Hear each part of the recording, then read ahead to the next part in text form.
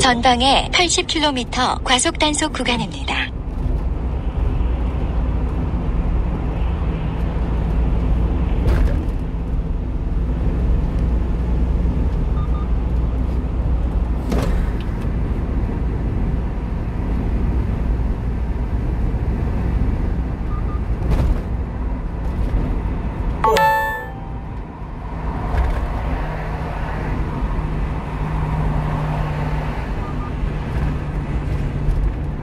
급회전 구간입니다.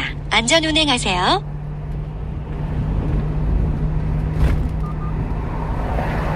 한강 철교죠.